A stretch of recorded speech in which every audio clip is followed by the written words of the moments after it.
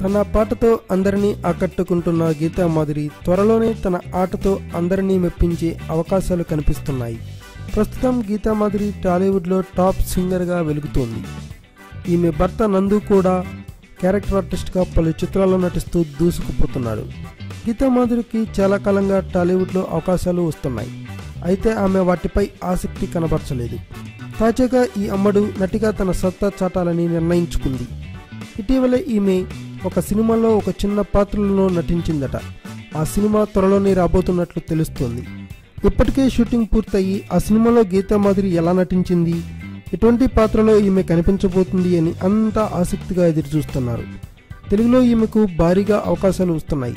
మరి గీత వరుసగా సినిమాలో నటిస్తుందా లేదా అనేది చూడాలి.